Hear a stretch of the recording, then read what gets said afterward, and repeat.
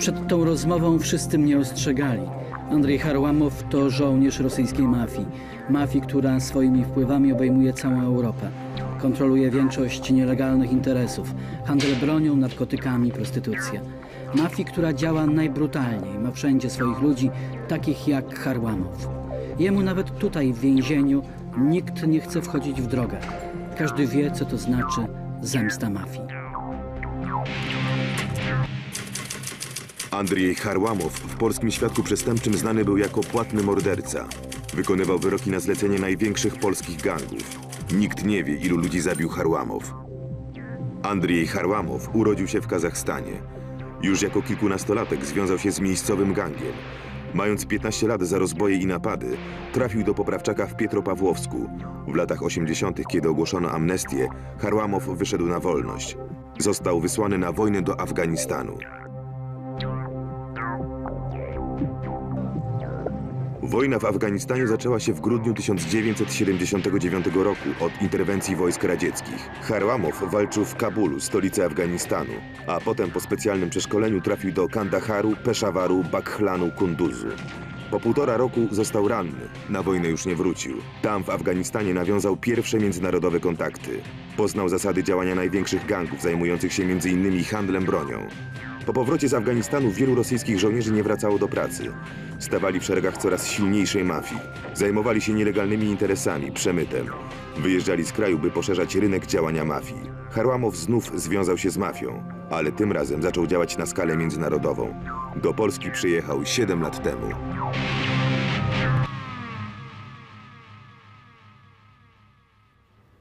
Pan się uśmiechał kiedyś, czy zawsze był pan taki poważny? Як Каждый человек часами усмехался, но в меньшем ступню то не лежит в моем характере быть усмехнутым. Ну, по-другому, не mam такой ситуации, żeby być e, za bardzo zadowolonym. Ale w Należy- życiu czasem pan się śmieje. Так, часом, як każdy człowiek. Навіть часом, kiedy забивал, теж śmiał Теж такі zdarzali się. Ну, а так śmiech просто nie jest mnie. Skąd te blizny na twarzy? А то от вибуху. Trafiłem pod wybuch granaty. Ну i trochę, gdzie nie było kamizelki kuloodpornej, trochę mnie ciało popsuło. Tu będzie pan siedział 25 lat, ale pierwszy wyrok pan dostał jeszcze w Związku Radzieckim. Tak. Za co? Е, Напади з броні в ринки. Е, Ну і рабунки обывателей. Ile За- pan miał wtedy lat? 15. Ma się 15 lat i jest się z bronią w ręku? Ну, Така дитинська романтика, тем więcej та дільниця, в которой я жил, в общем, дочь криміногенная була. І якось я хотілося е, свої, свої шанси підняти в сродовиску своїх е, родаків, которые за мной одинакового века были. Ну и организовали малую такую группку, бандочку. Ходили такими дробными, мелкими справами, займывались. С кого там чапку займывать, с кого сигнет, э, загарок, co мает в кишенях. A jak to było wtedy w połowie lat 70.? Czy już e, w Rosji była e, taka bardzo zorganizowana przestępczość, czy to ciągle były takie małe grupki? Czy już była wielka mafia, czy tylko e, chłopcy z dzielnicy, młodsi, starsi, ale jakby trochę pracujący na własne konto? Ну, скажем, такой мафии, як teraz, з пов'язаннями в жонді, в думі, а таком я не слышал. А организация, очевидно, была. У нас было то на целое життя, незалежно в вензению ты, али на вольности, али ты встемповал, мел встемпы в ту организацию, ставал блатным, то то был Блатным? Твой... Да, to znaczy błatnym? ну, это просто такое окресление. Тут есть слово окресление грипсуjący, у нас есть блатной. Gdzie jest bardziej zorganizowana mafia? Na zewnątrz czy w więzieniu? Это не różnicy. Bo to ta sama organizacja, просто można powiedzieć takie różne filiały. Jeden filiał na wolności, a drugi w zakładzie karnym, w zonie. O czym trzeba było wtedy pamiętać? Co dla Pana było najważniejsze? E, Jak było się tam? уметь пильновать себя, уметь тимать свое слово, być odpowiedzialnym za każde słowo. Pan używa w stosunku do przestępczego świata takie słowa jak honor, odpowiedzialność, e, znaczenie. Przecież, e, no przecież... prawo sobie z tym nie radzi, a jak sobie sami ludzie z tym radzą. No co to jest prawo? Co to jest prawo? To prosto przestępny świat i świat nieprzystępny. To jak świat i lustra. У люстра есть две стороны, в которую можем patrzeć и та, которую у стены. Przystępny świat как раз. I to, co, to, co dla Pana albo dla innych e, może stanowić prawa, jakieś obowiązujące zasady, dla mnie to może być e, просто pustym bzdźwiękiem. Nie tęskni pan, żeby być z tej strony lustra?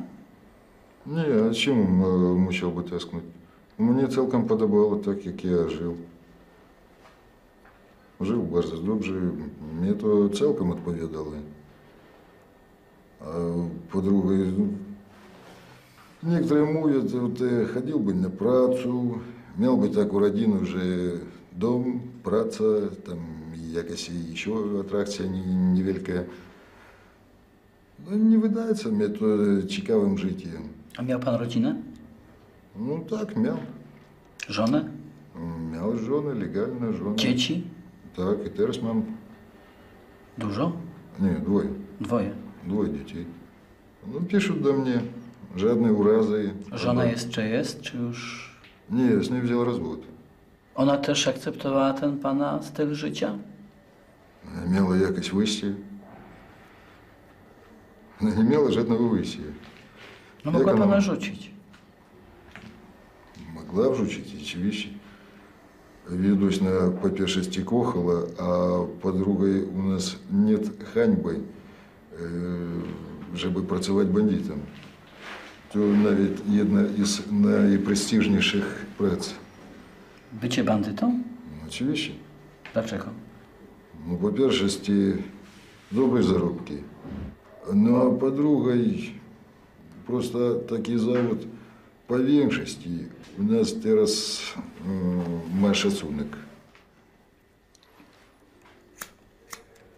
To czym się pan zajmował wtedy w Związku Radzieckim?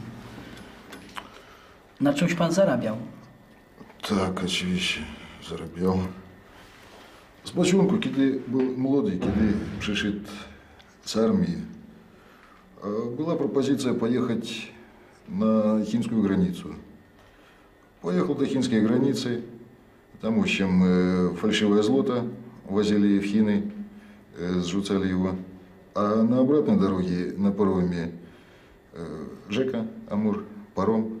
И на пароме, на пароме рабовали наших туристов.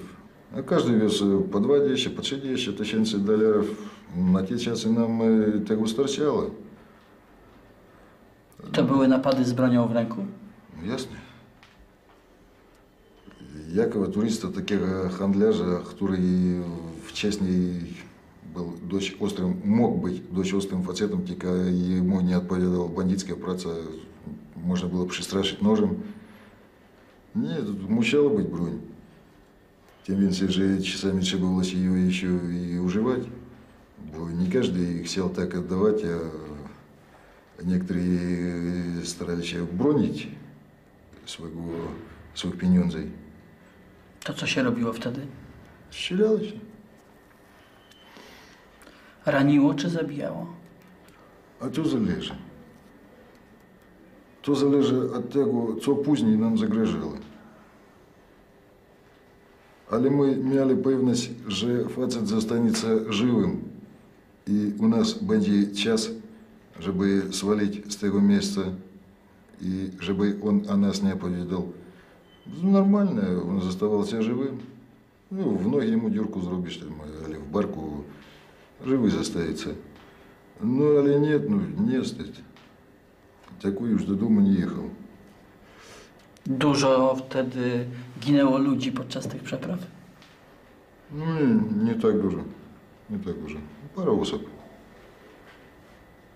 Вот, не были такі поважні, в общем-то, справи. Пузник, коли приїхав додому, тоді острейшие справи були. Бо тоді якраз у нас йшла поділка міста на території, бо хараджем почали обкладатися wszyscy przedsiębiorstwa, duże, małe.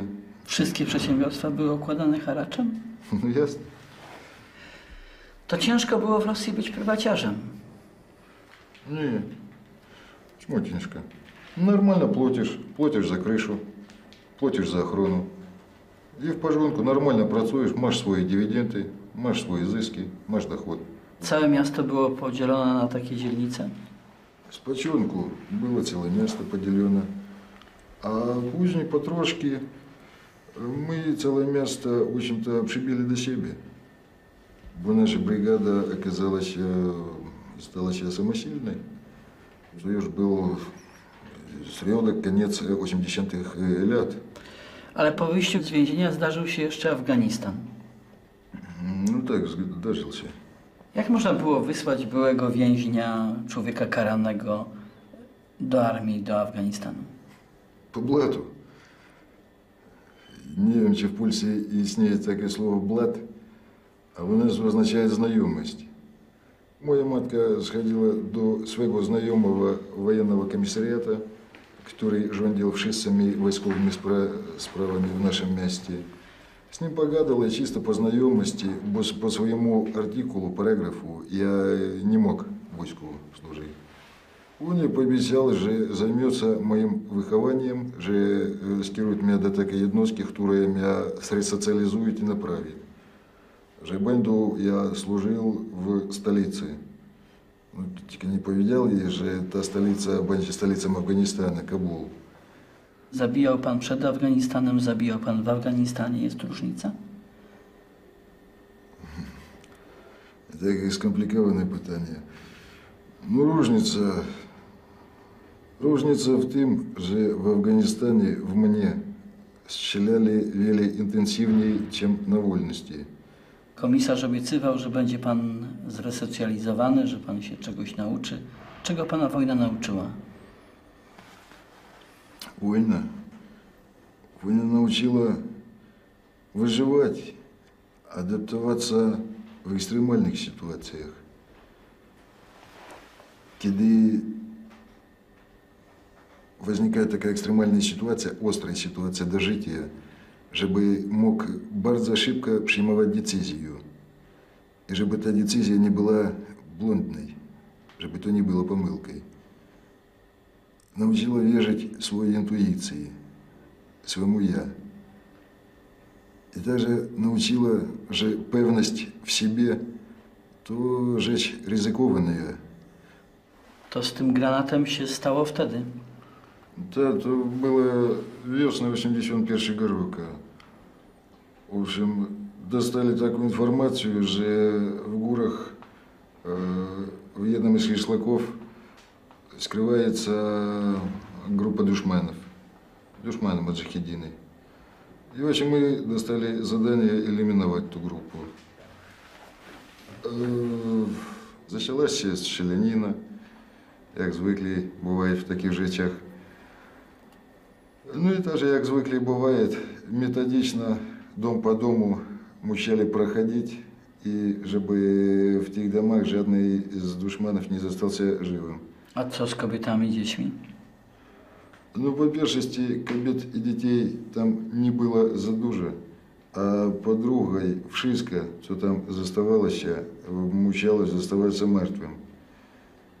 Бо так оно виглядає, що е, дитя 14-13 лет, а то дитя легко і спокійно стріляє із Калашникова і забиває наших хлопаків, які на 5-6 лет старше від нього. A kobiety? Кобіти то саме роблять. Тільки же кобіти, може, ще bardzo подступные. Ну и, в общем, проходили, чтобы ник там не заставался. Ну, ясно же, они отстреливались, душманы отстреливались, стреляли из э, ружной брони, также врzucали гранаты. И в остальное, что я там по менталам, że e, skręcił za rok jednej sakli, e, dom taki z gliny i rozdался wybuch. Rozdался wybuch, a później przytomność przyszedł już e, w batalionnym e, szpitalki. Były takie momenty, że pan się tam bał? Скажем так же, были моменты, когда я там не был, когда я там не бался. Такие моменты были. А решту, очевидно, бался. Может, для tego i przeżył. Dezerterowali żołnierze? Бывали и такие przypadki, że дезерта, дезерция была, którą, tak nawiasem mówić, Afgańcy nie za bardzo охотnie e, приветствовали, witali. Takie przypadki, kiedy dezertierów później znajdowali gdzieś w skałach, w jakimś wąwozie, albo porąbanych na kawałki, albo bez skóry, skóra obok waliła się, albo просто z podrażniętymi gardłami, kiedy duszmany nie mieli czasu, просто gardła podrażniali. Так что, żeby zdecydować na dezercję, wiem, ja o tym nigdy nie myślał. Dla mnie to było nieprzyjemne. Czy pan na tej wojnie coś zarobił? Ну, так можно o zarobku. To, co nam płacili w Afganii, e, pieniądze tak называются, w Afganii, mnie starczyło просто на колоровый телевизор. В те часы я купил колоровый телевизор в кантине в шпитальке, już kiedy wszystko skończyło się. No i pierwszy mój koreański telewizor, teraz pamiętam, Gold Star, przywiózł do domu. To za półtora roku wszystko, co ja tam zarobił. Zastanawiał się pan, e, ile osób w życiu pan pozbawił życia? Kiedyś coś takiego zaczynałem liczyć, jeszcze po młodości, a później просто to bez sensu, bo kiedy na wojnie dokładną liczbę nie znasz, bo kto od granaty, które wrzucił, кто там э, серии вальнул из Калашника, не знаешь, э, то ли едного развалил, то ли двух, а то ли вагулитика ранил. Даже докладnie tutaj nie określisz. А по-друге, я просто не зачемую в памяти э, тех, те события, которые мне не потребны на przyszłość. Wyrzuca pan z pamięci? Да. То, что мне не потребно, просто стараюсь o tym nie wspominać, bo ono mnie nie potrzebne. Sprawę zrobił, wszystko w porządku. Pan potem nie słyszy tego krzyku w uszach, jak już sprawa się skończy? Kiedy robisz sprawę, nie masz emocji. Nie masz odczuci. Ale to najlepsza droga, żeby zostać psychopatą. Психопата то wtedy, ale by podobał ten krzyk. A to jak raz przykre doświadczenie, które ja, no niestety bywaje. To Mnie- nie jest tak jak z narkotykami, że najpierw pan zabija, bo to jest zawód, bo pan sobie mówi, że to jest zawód, a potem już bez zabijania pan nie potrafi żyć.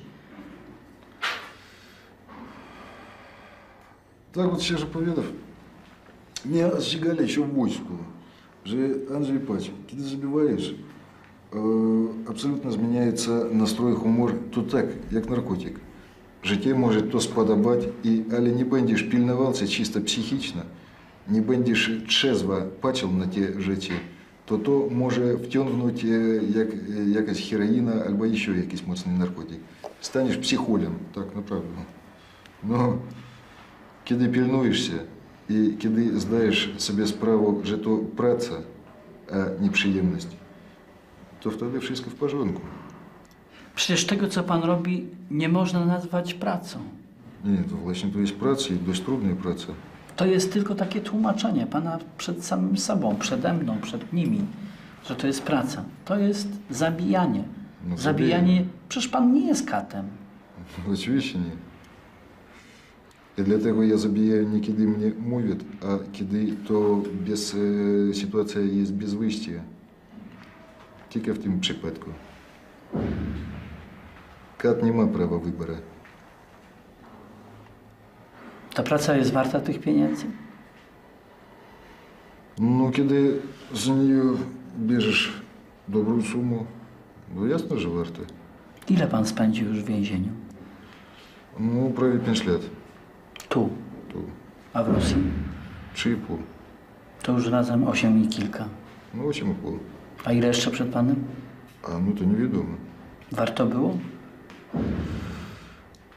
No przy tym, jak ja prowadził życie, drugi ludzie, to co ja widział i robił za rok swojego życia, oni nie robili za całe życie. життя. І вони мене мисли забіяння, а мене жи- на мислі то, як я пізніше жив. І wiele ludzi w ogóle nie doświadcza e, tych odczuci, co ja miał. Odpłynęło, już pan tego nie ma. Ну, нема. Тяка чисто золотого ризики. Мог м'ять, теж нема. Знав на що йде.